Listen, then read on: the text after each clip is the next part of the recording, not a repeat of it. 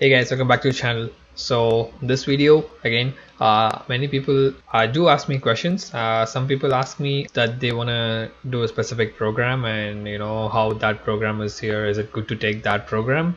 And there's this other group of people who actually ask me what program I can take you know what what can I study? Uh, what is good here? Like they don't have a clear idea of what to study or what to learn so they just uh, openly asked me like what I can learn or something you know? So I just wanted to make this video for those people. This is uh, pretty specific. It's not like a generalized video because I cannot talk in a generalized way regarding this. I can only talk what I have done what I've gone through after coming here. In that way I just wanted to talk about the program I did the visual effects program how to get into that program and how's the scope and is it good to take that and all those things. If you are interested or if you don't have any interest or if you want to learn about this uh, then you can watch this video. It's about it's all about this program. So before that please do like share comment on the video subscribe to the channel and also don't forget to press the bell icon so you get updates when I post my videos. So let's not wait we'll go to the video. So the program which I did was the visual effects for film and television. I did it in Seneca but I did apply for five colleges when I was applying from India. So I did apply to Seneca, Sheridan, Humber, uh, Durham, and Fanshawe. I did get offers from all all of these five colleges, but I chose Seneca because from there uh, I did some research on my own, like online. There was basically more information on the program for Seneca. Uh, than the other colleges. I was able to talk to alumni and the coordinator, and you know, it's just basically more organized. So I did like uh, the way they kept it. So I wanted to go for Seneca and which was a good choice because Seneca is really good for VFX. There's another college called Sheridan. Uh, people do VFX there but it, it's better for animation. If you want to learn animation you can go to Sheridan and there are like other colleges too. I'll put all of these colleges in the description. This program in most of these colleges are it's a one year program and uh, it is a postgraduate certificate meaning that you need to have a bachelor's if you want to do this. I don't think they have any diploma programs on this. There is a two-year program on one of these colleges but i'm not sure if it's a graduate certificate or a diploma. Usually two-year programs are diploma so i think it should be a diploma program. But in my opinion i think uh, a one-year program is more than enough for vfx uh, you you it is a bit fast but you do learn things quickly and you can start working just after like eight months. So uh, the application process is pretty simple. You can basically go to any consultancy and tell them to apply uh, on behalf of you. Or uh, in my case I just applied on my own because uh, Seneca wasn't a partner uh, with the consultancy uh, who I went with. So I had to do it on my own. I did it from home but it's basically you need to have an IELTS score before you apply. And one other major thing for VFX or any kind of art program you're coming you need to have a portfolio which is a demo reel in VFX so basically you need to have a video of maybe like one to two minutes showing your previous work. This might sound huge because if you're new to VFX, you obviously you won't have anything to show. It's not just VFX. Uh, you can show any related kind of experience you had before. It can be, you know, any Photoshop related work. Good amount of work we do in Photoshop, even in VFX. So Photoshop does help for VFX too. You can, you could have done some, you know, uh, some illustrations or you know you're good in you're good with painting and drawing and stuff you know you can even show that basically you need to show any kind of related experience it, it doesn't have to be completely VFX. You know, the selection process is completely based on the coordinator. I used to do VFX, like I learned VFX from YouTube and you know, I, I also went for a program in, in Chennai. Uh, I was doing a six month program in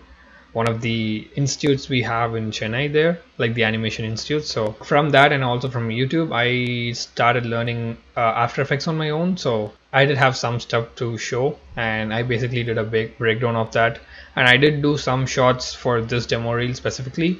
Uh, because just to you know get into the college so and i also had some work which i did for short films when we were in university so I just compiled all those things and I uh, and I submitted it. First main thing for this program is a demo reel. Without that, you cannot actually get into this program. I'll also attach the uh, demo reel which I did when I applied. I'll attach that in the description, so you'll have an idea how to do it you know how it should look. So basically the program itself there are different departments inside visual effects. If you take like the major stuff there are like five to six departments. So uh, you know you have modeling texturing animation effects compositing uh, matte painting you know you have like six of these. So these six are like major and there are other smaller stuff too. Basically in vfx like if you come to this if you join this program and start this program you will be learning everything. It's always better to better to like choose one uh, and then like move forward in that for example like me I, I did choose FX in my first semester but then I moved to I decided I'll do compositing in the second semester uh, because uh, first semester is just uh, teaching you the basics of all these applications which we use in VFX. That's going to be the first semester and second semester is entirely uh, to create a demo reel which you can use when you're applying for a job after that. So it's better to always choose like which department you're going to go into before the start of your second semester. It's only the only then you can create a concentrated demo reel. I did compositing, so I did a compositing demo reel just for compositing. Uh, you don't have to do that when you're applying for the college. You can just do basically VFX, you know, in general. When you're finishing this program and when you're doing a demo reel, you know, for work, when you're applying for a job, it's better if it's targeting like one department because you're not gonna do all the work in VFX, you know, when you join a studio because studios are bigger. They do have different departments and there are like five to 10 people at least in each department. So you cannot basically go there and be that one person who does everything. You cannot do that. Basically, there are like hundreds of shots so you cannot do all the work by yourself so you need to choose a department which you want to go in which you're interested in uh, you can choose animation you can choose effects you can choose compositing. So i chose compositing because i'm more interested in creating a look and uh, seeing that final image you know. I'm more interested towards that. But if you're more technical if you're interested in more technical and procedural stuff then you can you can get into like effects or animation because these are more procedural and more technical. It gets too technical if i explain too much about this but i'll make another video about how these things differ inside VFX.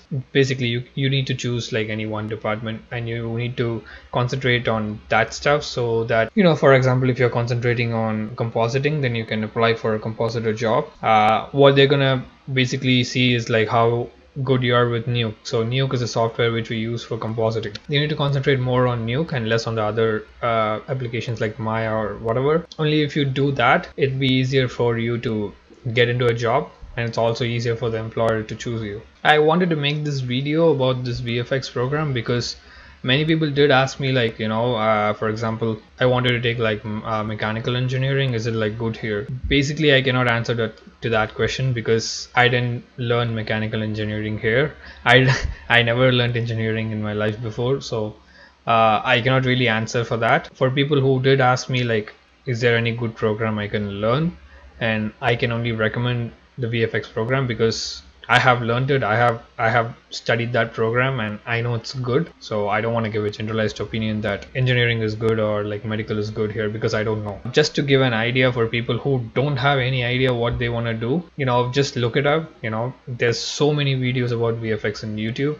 Just go through them, see if you're interested just watch one or two videos. If it creates interest in you then you can proceed with that because one important thing about vfx is it, this entire vfx in general it's a time consuming job. You need to put in lot lots of time into this to work. Overtime is like a part of this industry. It's really normal in this industry because let it be a tv show or a movie everything is based on deadlines. So there's always that uh, period of time where you need to work more to send out the shots. Basically it's just you need to you need to put more time into this uh, to learn this. I do know that this is a time consuming job but on top of that I did have interest to do it and I just came into this. You can obviously learn After Effects from YouTube which is what I did because Nuke is not really available to everyone because it's really expensive to get a license or whatever.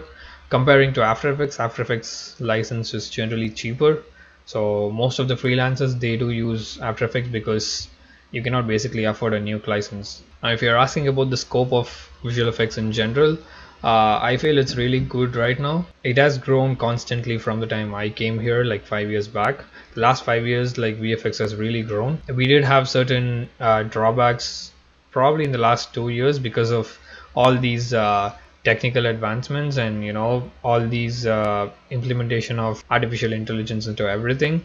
That's kind of a general thing which is affecting all the industries which is affecting manpower in general because everything is getting automatic. That kind of a thing we did kind of get into vfx too but it is there. Ai is there. People are still uh, people are using ai right now uh, but it's just starting to come into vfx and uh, i think there's a good 10 to 15 years AI can only do so much automatically, but the only issue with AI is like it cannot be 100% perfect. Even if it does probably 70% or 75%, the remaining 30% you need manual work from a human being. So it is it is going up, and you know in general like the structure of the entire film industry is changing right now. Shows coming into Netflix and all these OTT platforms. TV shows are demanding more VFX like equal to movies right now Except Game of Thrones and whatever Marvel TV shows you see uh, recently, it's almost equal to movies. So obviously there's going to be more shows.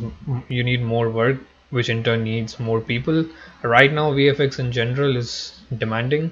Uh, any kind of department I would say compositing or whatever it is artists are in demand. So I would say this is a really good time to actually learn VFX and get into this industry. On, only important thing is like I have told this in all my videos only do this if you're interested. Just don't do it because you would get a lot of money or you'll have a security you know whatever. Uh, don't do for those things because if you don't like this job then you're gonna hate it really. Uh, only if you like this you can do it you can work more efficiently. This is a creative work but it also has some technical stuff. So technical stuff are always difficult. Sometimes the work is really repetitive and it has those things. So in order to overcome those things you need to be interested in it. Or that's basically it. So if you want to know more about this program i will post links in the description. I'll also make a detailed uh, video about visual effects in general. Uh, if you have any questions please do comment below and also please do message me on instagram and please do like share comment on the video subscribe to the channel.